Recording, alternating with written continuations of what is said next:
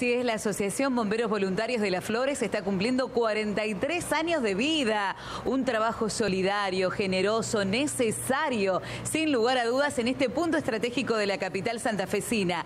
En Blas Parera, el 8700. Mira, nosotros llegamos, te digo, 8 y cuarto aproximadamente, y estaban ya de festejos, con un lunch, disfrutándolo con sus colaboradores más cercanos, sus amigos, con funcionarios. Realmente un momento muy, pero muy significativo y emotivo, porque 43 años son mucho en la vida de una institución de estas características. Y vamos a charlar ahora con Jorge Monuti, que es presidente de la Asociación Bomberos Voluntarios, y Carlos Vidal, que es jefe del Cuerpo Activo. ¿Cómo les va? Buenas noches. Hola, ¿qué tal? Buenas noches. Muchas gracias por, por asistirnos. Bueno, Jorge, la verdad que 43 años en la vida de una institución de estas características es mucho tiempo. ¿Y cuánta historia? Sí, la verdad muchísimo. Nosotros como comisión hace 17 años que estamos a cargo de la, de la institución.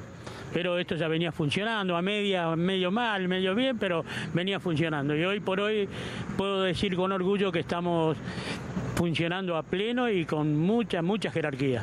Bueno, ¿cómo puede colaborar la comunidad con ustedes? Mira, asociándose, tenemos una campaña socia, hay promotores que andan en la calle asociando a los bomberos, eh, hacemos campaña de 12 meses, así que es la forma de colaborar, o donaciones, ¿no? Como sea la colaboración es bienvenida. Qué bueno, la verdad que tienen una institución muy linda, un edificio moderno, este remodelado todos los años, le agregan algo, le hacen algo y la verdad que es de primera jerarquía. Sí, la verdad que se va creciendo bien en forma bastante, bastante avanzado. Eh, hemos, hemos construido mucho. Eh, merced a que tenemos un subsidio nacional, bueno, que ese nos sirve para hacer todo ese tipo de construcciones, para el mantenimiento de vehículos. Tenemos muchos vehículos muy buenos, en buenas condiciones la mayoría. ¿Cuánto, ¿Cuántos camiones autobombas tienen? Tres autobombas.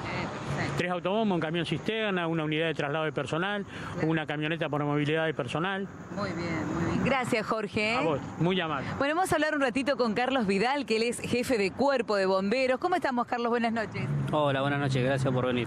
Bueno, una tarea realmente este, generosa al servicio de la comunidad.